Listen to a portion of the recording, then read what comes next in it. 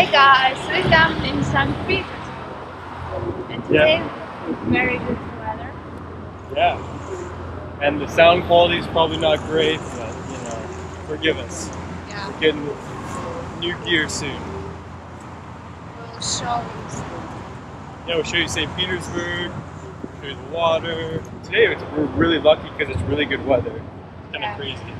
It's like weather is like I'm lucky I have a personal guide around the, the home city of St. Petersburg. Yeah, you're much like it.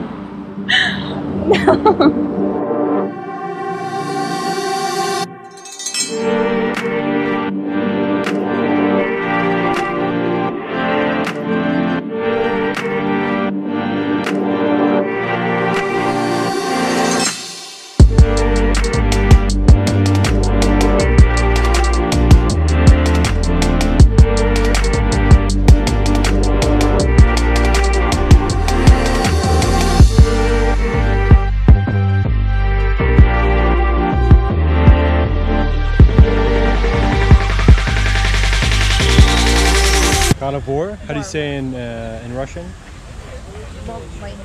Bokvani. Bokvani. God of War.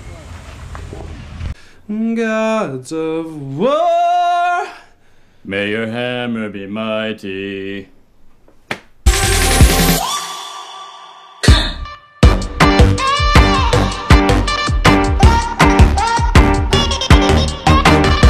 So right now, um, we've been in St. Petersburg for how many hours?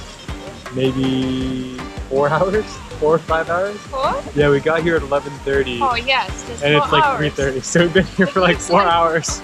We feel like we've been here for a while. But we checked into we checked into our hostel and then we went- yeah, it's a good hostel. Susha likes it. It's her first time staying in a hostel. Yeah. So I'll definitely make a video doing a review of it. But um, yeah, sorry if the audio is not so great. But after after the hostel, we walked around. I got a really good idea. Maybe I might have got a really good idea. And then um, yeah, we're in Summers Park. Yeah, summer. Park. Yeah, Summers Park, walking Letny around. Letny We'll put the Russian name on the screen. Netisat. Netisat. And then, um, I don't know, we're probably gonna walk by the water, maybe go on the boats. Uh, we might go rock climbing. I don't know, but uh, it's We definitely. have big plans for Yeah, we have a lot of plans.